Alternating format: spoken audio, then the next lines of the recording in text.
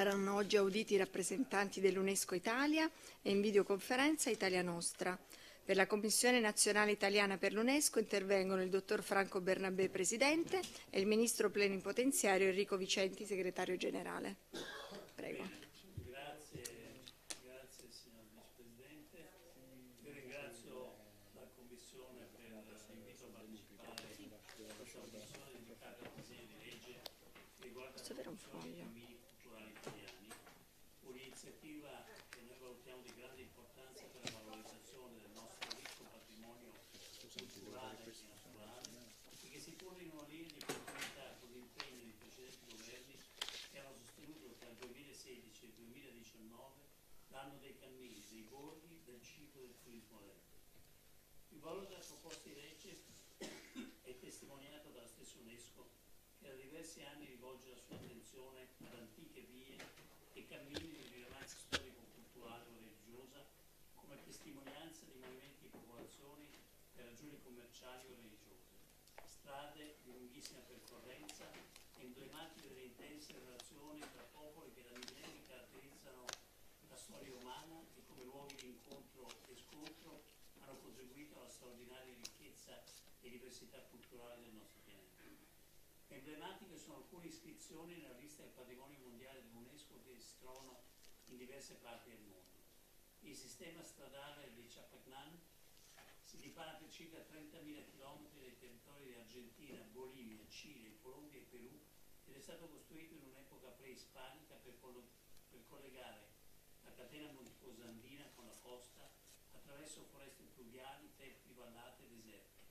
Questa fitta rete di vie dimostra la tecnologia ingegneristica e la capacità di pianificazione degli nei collegamenti tra centri urbani, produttivi e di culto. Via della seta nella sezione 5.000 km che collegava Chang'an Luoyang, la capitale della Cina durante la dinastia Han e Tang, alla regione di Jesu nell'Asia centrale, riconosciuta dall'UNESCO come emblema della più vasta rete commerciale omonima. Costruita tra il secondo secolo a.C. e il primo d.C., rimase in uso fino al XVI secolo, mettendo in contatto diverse civiltà e facilitando scambi commerciali di credenze religiose, di conoscenze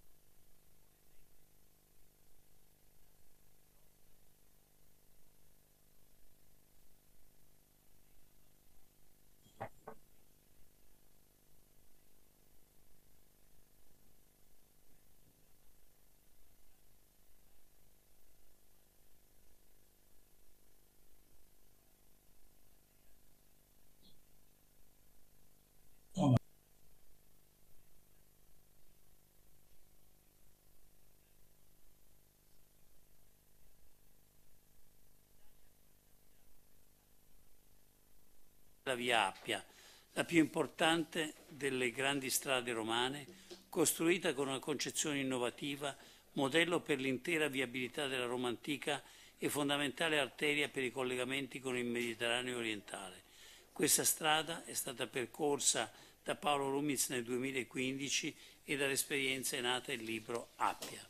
Nel prossimo futuro il nostro Paese vorrebbe candidare alla lista del patrimonio mondiale la via Francigena, che nel Medioevo costituiva la più importante via di collegamento, la più importante via di collegamento tra i paesi al di là delle Alpi occidentali e Roma, un cammino di pellegrinaggio ancora oggi percorso da numerosi viandanti in tutto il mondo.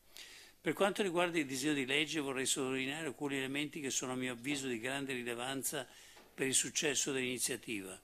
Mi riferisco alla necessità di una cartografia cartacea digitale in scala 1 25.000 e 1 50.000 che è imprescindibile per chi voglia intraprendere un lungo cammino a piedi in condizioni di sicurezza e con gli strumenti necessari per comprendere il contesto geografico circostante.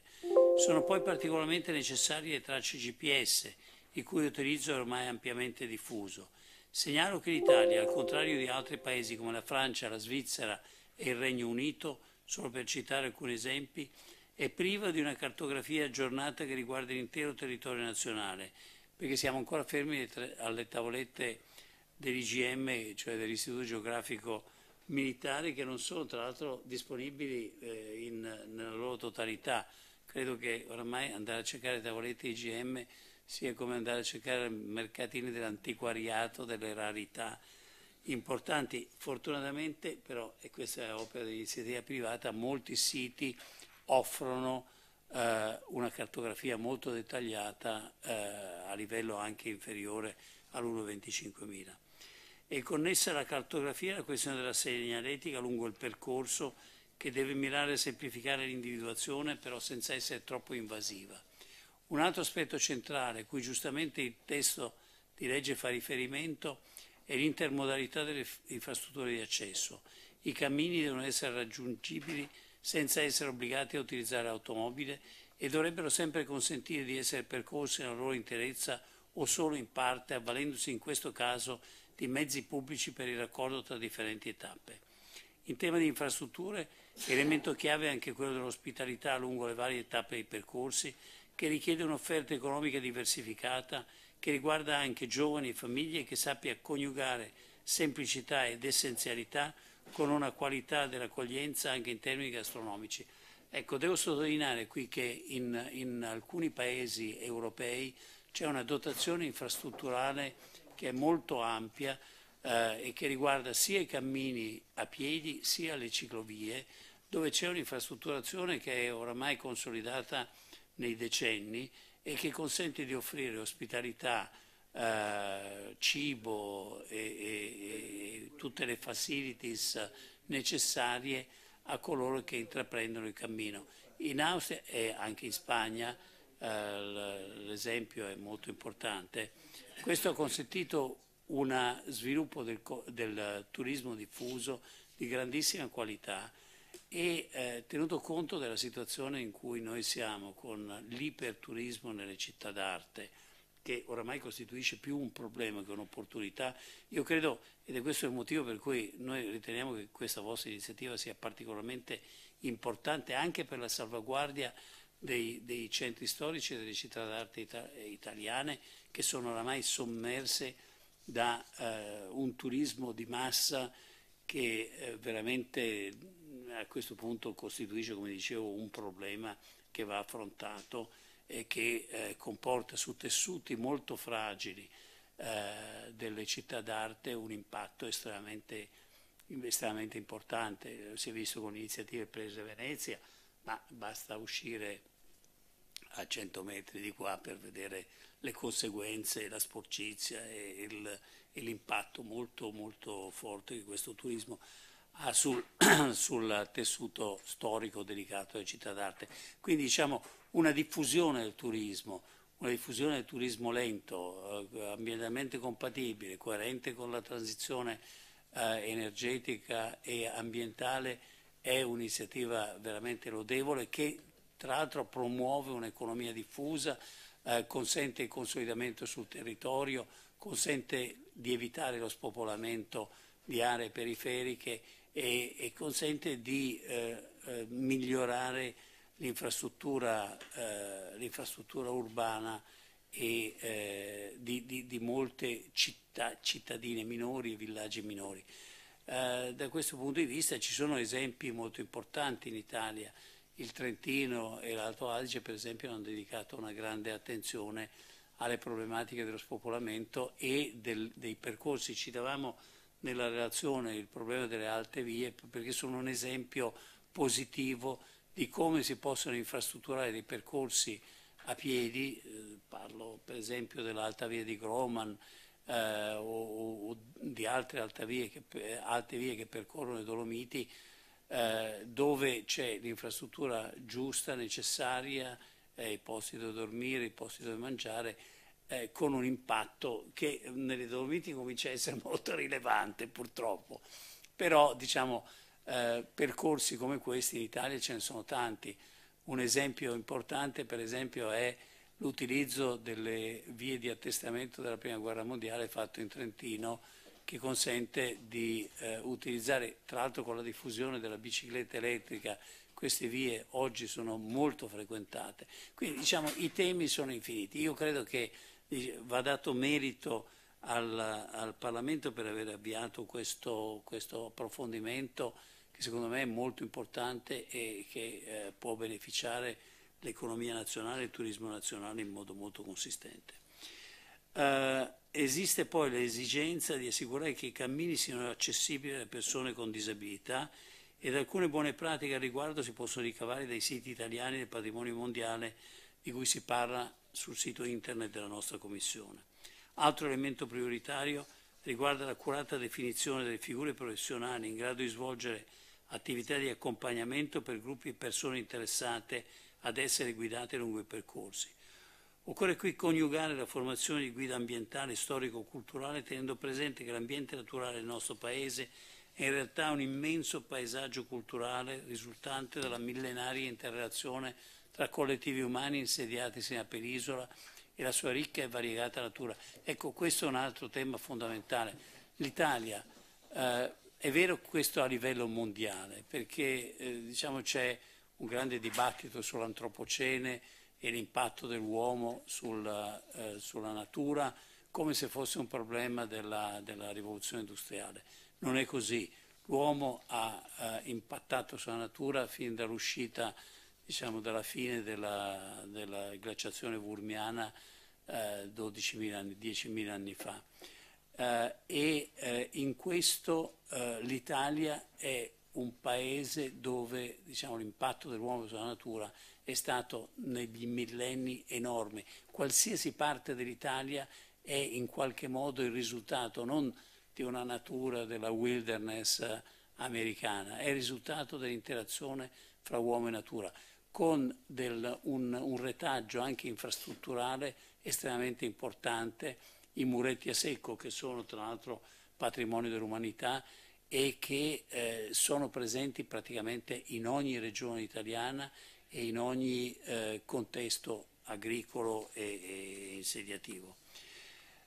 Quindi eh, io penso che il disegno di legge sui cammini culturali sia un eccellente contributo al perseguimento degli obiettivi dell'agenda delle Nazioni Unite sullo sviluppo sostenibile, che favorisca la diffusione di un turismo culturale più sostenibile non solo per un minore impatto in termini di emissioni di CO2, ma anche perché aiuta a diversificare un'offerta ancora troppo focalizzata sulle città d'arte, i cui centri storici sono congestionati oltre ogni tollerabile limite. I cammini inoltre come forma di mobilità lenta per eccellenza sono in grado di garantire un'esperienza unica e coinvolgente degli elementi estetici del paesaggio italiano, di cui possono facilitare una lettura trasversale e integrata delle sue più varie componenti, dai borghi alle aree naturali, alle reti plurimodiali della mobilità. Un'immersione profonda in grado di contribuire al benessere emotivo, intellettuale e spirituale di chi si mette in cammino. Infine, i cammini come itinerari culturali contribuiranno a una valorizzazione e una migliore conoscenza del patrimonio culturale e naturale, tangibile e intangibile, iscritto dall'Italia nel patrimonio dell'umanità riconosciuto dall'UNESCO, convogliando l'attenzione su quei siti meno noti rispetto alle località di canonico riferimento. Per questo la Commissione nazionale si dichiara disponibile a far parte anche eventualmente della cabina di regia prevista dall'articolo 3. Quindi non posso che auspicare che il disegno di legge numero 562 venga al più presto approvato al Parlamento. Grazie per l'attenzione. Grazie professore. Allora, sì, per Italia Nostra invece interviene in videoconferenza l'architetto Massimo Bottini, rappresentante nazionale di Italia Nostra. Buongiorno, mi sentite? Sì, la sentiamo. Bene, grazie. Non posso che ringraziare a nome dell'associazione e compiacermi della ripresa di questo cammino sul tema dei cammini. Scusatemi questo doppio. Italia Nostra è membro fondatore dell'Alleanza per la Mobilità Dolce, in acronimo AMODO, che è un'unione tra associazioni che a vario titolo si occupano, si occupano di mobilità sostenibile. Ne fanno parte 29 associazioni del terzo settore che si occupano di turismo e escursionismo, tra cui il Touring Club, l'Associazione Italiana Guide Ambientali Escursionistiche e la Federazione Italiana Escursionismo FIE. Cammini, tra cui Giubilantes, Rete dei Cammini, Federtrek, oppure i borghi, con l'Associazione Nazionale dei Comuni Virtuosi, i borghi autentici d'Italia, BAE e Città Slow oppure di ciclovie e, e ciclismo, tra cui l'Associazione Italiana Cultura e Sport, ICS, o l'Associazione Italiana Greenways, AIG, o uh, i randonneur, o comunque il patrimonio e l'ambiente, tra cui Legambiente, ovviamente Kyoto Club, Italia Nostra, Federpark e WWF, nonché poi uh, l'ambiente relativo al tema ferroviario, tra cui l'Associazione Europea dei ferrovieri, la Federazione Italiana Ferrovie Turistiche Museali, ma anche un'associazione come l'AIPAI, che è l'Associazione Italiana per il Patrimonio Archeologico Industriale. Il sottoscritto è referente dell'Associazione Italia Nostra APS all'interno di questa alleanza e ne è promotore fin dalla sua nascita. Nelle vesti di eh, relatore per Italia Nostra mi limiterò a parlare delle questioni che più stanno a cuore all'associazione che rappresenta. L'esperienza è maturata durante le numerose campagne a sostegno dei beni culturali minori, una campagna che nel 2010 con paesaggi sensibili ci portò a eh, porre l'attenzione su quella Italia marginale, vulnerabile, che guarda caso, incrociando la rete ferroviaria dismessa, ha analizzato a suo tempo da Comodo, che è l'antesignana di Amodo, che nasce solo nel 2016, mentre nel 2007 già ci si preoccupava di riconvertire questa rete ferroviaria con le giornate delle ferrovie dimenticate, che poi sono diventate giornate delle ferrovie delle meraviglie, ci hanno consentito di avere un'immagine realistica della distribuzione geografica e della potenzialità di queste infrastrutture a servizio delle comunità.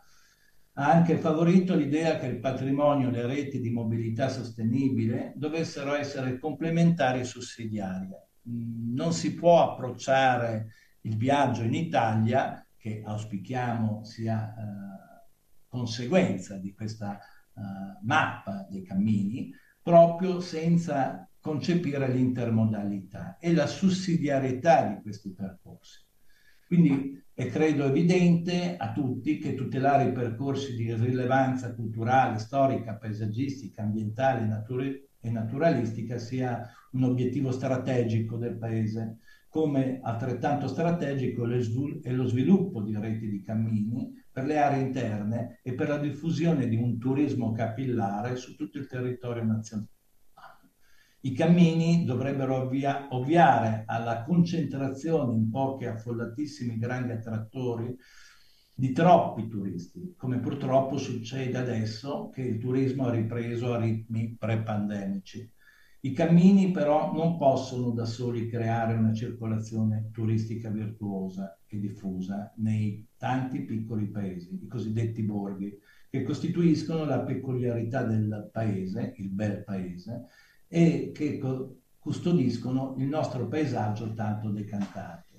Credo che proprio il tema dei borghi, del cammino, dell'accessibilità a questi sia una chiave di lettura per rendere tutto il paese, anche quello a densità, diciamo, infrastrutturali più o meno eh, diciamo, efficaci, partecipi del processo di sviluppo eh, di tutto il paese stesso, per un turismo più responsabile.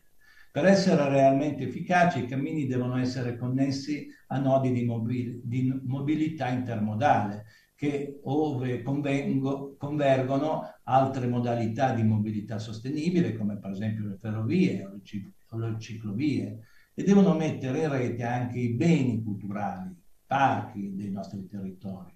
Solo così potranno attrarre e accogliere efficacemente il turista, offrendo un'esperienza di viaggio unica e soddisfacente. Questo significa sostegno al trasporto pubblico locale e alla rete dei percorsi delle ferrovie storiche, per esempio promosso dalla Fondazione FS.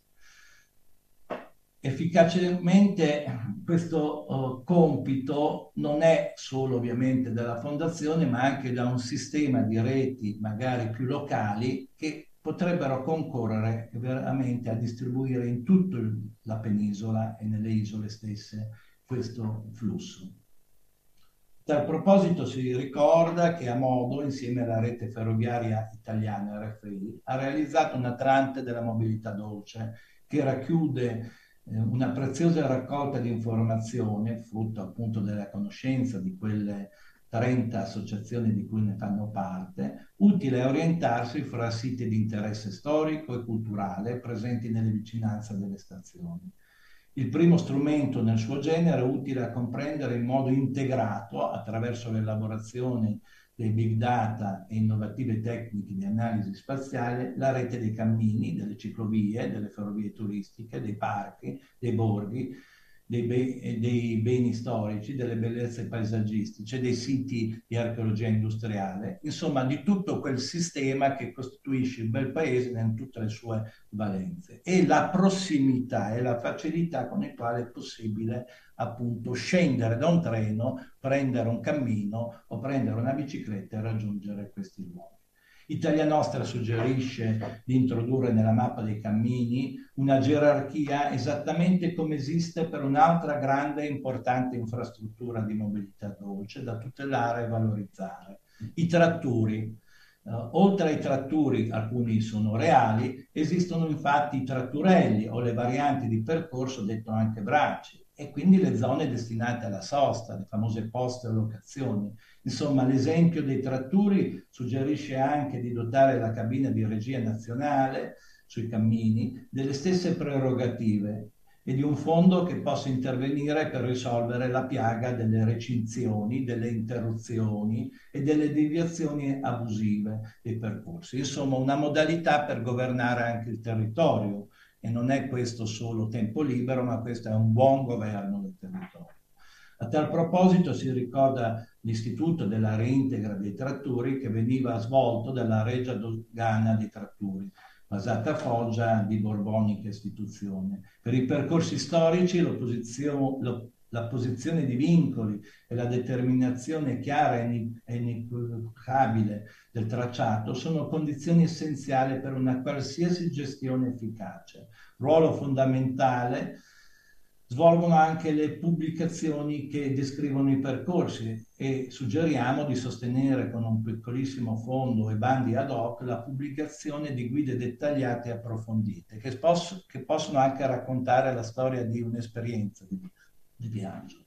Italia Nostra non può non segnalare anche il fenomeno della proliferazione incontrollata di cammini un po' ovunque, in una sorta di bulimia di sentieristica che difficilmente porta, potrà essere mantenuta adeguatamente. Solo la fruizione costante e un ente di gestione capace di garantire una rete di strutture, di accoglienza e adeguate risorse economiche, soprattutto umane, può alla fine portare al consolidamento turistico di un percorso, perché cosa da evitare assolutamente è che l'aspettativa venga tradita. Quindi quando sarete pronti con questa mappa, e ovviamente tutte le reti, i nodi devono essere all'altezza di un percorso che deve ovviamente eh, essere validato proprio con quel bollino di Cammino d'Italia.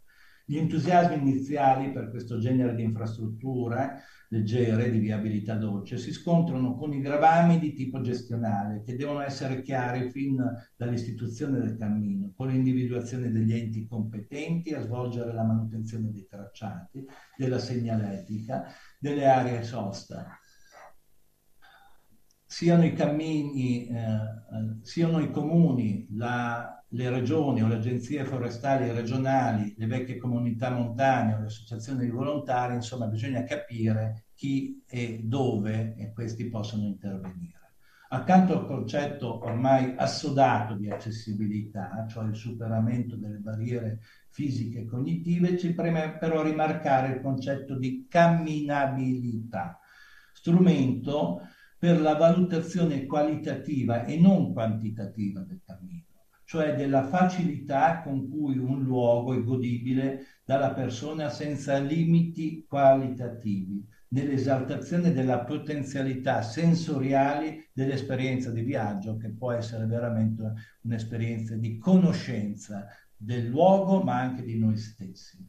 Si ritiene quindi utile un accordo con la conferenza episcopale italiana per la messa in rete del patrimonio spesso storico delle parrocchie. È proprio di questi giorni il nuovo oh, Atlante, un lavoro presentato proprio dalla CEI, dei confini delle parrocchie e eh, delle diocesi, che non sempre corrispondono per esempio con i confini provinciali e proprio da questa analisi cartografica potremo anche capire degli itinerari storici significativi. Quindi le parrocchie con la loro finalità di accoglienza dei camminatori, infatti queste sono distribuite ovunque e come infatti insegnano i pellegrinaggi permanenti, offrire varie tipologie di accoglienza, dalla più spartanea ascetica a quella più strutturata e di lusso, rende più attrattivo un percorso. Spesso comunque in certe aree le uniche strutture capillarmente presenti sono proprio le parrocchie e quindi diventa essenziale il loro uso per finalità di accoglienza. Questo uso alternativo viene incontro anche alla crisi gestionale del patrimonio religioso dovuto alla riduzione ovviamente delle vocazioni. A chiudere, per quanto attiene alla valorizzazione dei cammini, Italia Nostra poi suggerisce una pratica che può eh, dirsi molto propria, ossia la diffusione delle passeggiate patrimoniali, adottate dall'associazione eh, come modello efficace per diffondere la conoscenza del patrimonio paesaggistico, ma che può essere tranquillamente adottato anche per i cammini. Una modalità di fruizione collettiva che favorisce il coinvolgimento delle comunità patrimoniali, i reali detentori eh, del patrimonio culturale, cioè i cittadini che abitano e vivono in un determinato territorio, come chiaramente ci dice la Convenzione di Faro. Concludo suggerendo di audire anche il presidente dell'Associazione eh, dei Tratturi Transuman e Transumanze Michele Pesante e ovviamente già dirigente dell'Ufficio Tratturi eh, di Foggia della Regione Puglia, la portavoce di Amodo Anna Donati. Vi ringrazio. Grazie, grazie a lei. Abbiamo concluso allora gli interventi introduttivi, ci sono interventi da parte dei senatori, domande? Che purtroppo siamo Posso? un po' fuori tempo. Eh, abbiamo Mi ascoltato per essere arrivati in ritardo, però volevo ringraziare soprattutto sì. i relatori che hanno posto dei problemi molto importanti, soprattutto sì. per quanto sì. ha detto Bernabé, per la cura del territorio, quindi i muretti a secco, che dovrebbe essere una buona pratica, che dovrebbero iniziare ad avere tutti i contadini, tutti coloro. E la cura del territorio è di tutto poi in fondo, non è solo del coltivatore e quindi mi ha fatto pensare all'alluvione, ai alla cementificazione degli argini dei fiumi. Quindi questa sregolatezza che è avvenuta in questo periodo storico, l'ultimo periodo, la seconda metà eh, del secolo scorso, cioè tutto a cementificare, eh, tutto a distruggere poi ciò che è di più bello, che ci permette di vivere. Poi, i cammini, per quanto riguarda i cammini eh, voglio ricordarmi all'architetto che ha fatto riferimento ai cammini eh, quindi religiosi. In fondo alcune volte eh, i preti sono unici, le uniche sentinelle del territorio. E poi vorrei fare un appello a tutti che la cura eh, del paesaggio e la cura eh, anche del paese, di tutto, dovunque stiamo, e di tutti i cittadini. Perché solo così eh, si può stabilire un rapporto quindi eh, sostenibile con l'ambiente, che si parla tanto di sostenibilità, poi alla fine non si comprende qual è la sostenibilità. E per quanto riguarda i progetti la bulimia quindi, di questi percorsi quindi, che, a cui ha fatto riferimento l'architetto, è vero, si assiste a questi stanziamenti, di, può darsi di investimenti, di fare soldi, e bisognerebbe regolamentare, quindi apprezzo molto il governo che ha preso in esame questo aspetto. Grazie. Grazie, grazie. Allora, se non ci sono altri interventi, sì, ci sentiamo tutti molto soddisfatti perché queste audizioni sono state molto importanti, molto interessanti. Diciamo che abbiamo avuto anche una, una visione complessiva quasi di un progetto chiave in mano no? per il Paese, quindi come metodo sono state molto apprezzabili. Sicuramente le continueremo, vi invitiamo comunque a lasciarci la vostra documentazione integrativa e proseguiamo quindi. Sì, il Presidente ci tiene anche lui a salutare. Sì, grazie alla Presidente, scusate se sono seduto qui, ho chiesto alla collega di sostituirmi, quindi non non intendevo diciamo, sottrargli il ruolo. Io volevo ringraziarvi per la presenza, eh, soprattutto diciamo, per gli spunti che sono stati dati dagli auditi oggi su eh, diciamo, un, un progetto legislativo che ha cura diciamo, di migliorare tutte le cose belle che di fatto noi viviamo giornalmente e che talvolta non, non ci rendiamo conto neanche di vivere per metterle a risalto, per dare gli stimoli alle amministrazioni comunali, ma anche un po' di strumenti. I contributi che ci lascerete sono, e che abbiamo ascoltato oggi sono per noi fondamentali. Siamo in questa fase diciamo, in cui si può modificare qualcosa, eh, migliorare qualcosa eh, quindi diciamo, vi ringraziamo per la presenza e anche per diciamo, eh, lo stringere dei momenti, ma le commissioni sono consecutive, purtroppo abbiamo il governo che ha dei tempi sui provvedimenti successivi. Grazie ancora. Grazie.